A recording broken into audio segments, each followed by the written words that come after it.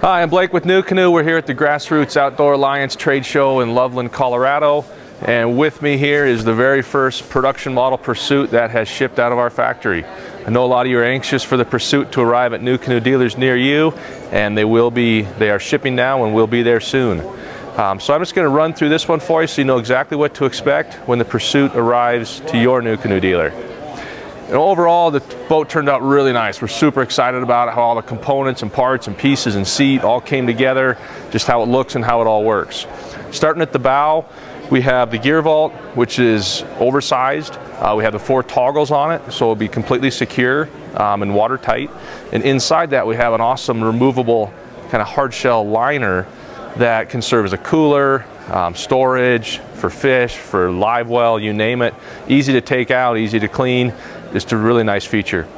Then we have the crate space, which is great for tackle box, for a crate pack, a small cooler, along with the Freedom Track on the side so you can mount your rod holders, any device you want there.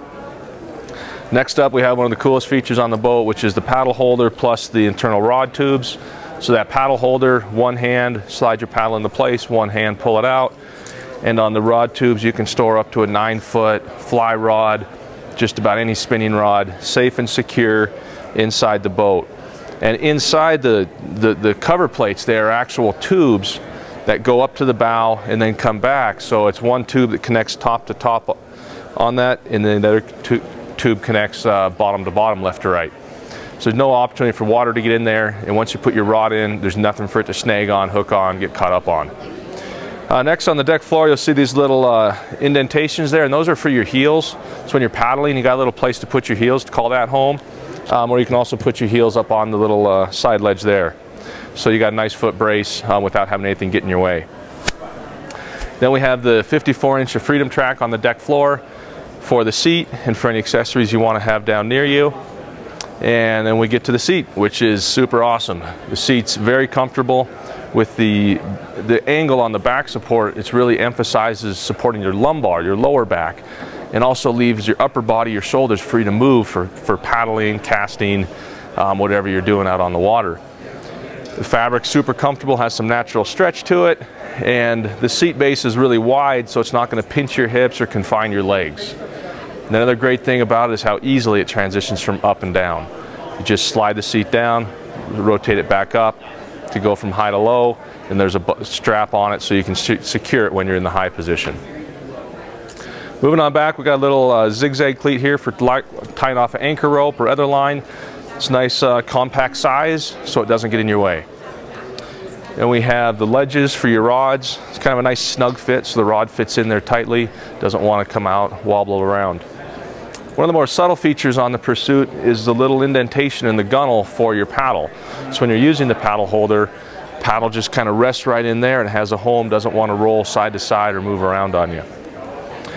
Then we get to our flush rod holders They're standard uh, with the nice cover, so if you're not using them, it won't accumulate water. Great place to put your rods, keep them out of the way, keep them up away from the water. Then we have the stern crate space, which is big enough for a 45 quart cooler so you'll never be lacking for cooler space out on the water.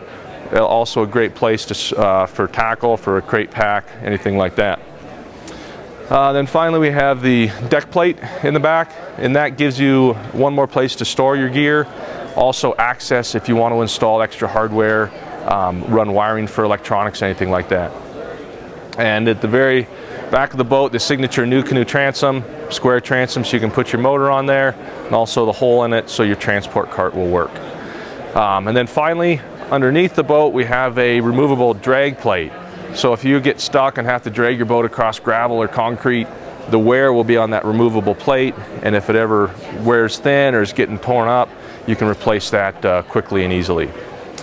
One last thing to mention on this boat, this Pursuit is outfitted with the uh, deluxe outfitting kit, and that includes the Mighty Mount up here at the bow, the deck pads in the bow and stern crate space, and those serve to provide grip for your gear so that it doesn't slide around and also minimize the noise that that stuff may be causing. Uh, the uh, kit includes the ring straps on the, uh, the back of the uh, rod storage area and paddle storage area that are nice for when you really need your gear to be secure but not essential for, for normal use. Um, and then finally, we, we have the deck plate storage bag uh, that goes inside the deck plate for storing stuff and the Mighty mount at the stern. So that's the Pursuit from bow to stern. Um, we're super excited about it, and I know you're going to love it when you see it at the NuCanoe dealer near you.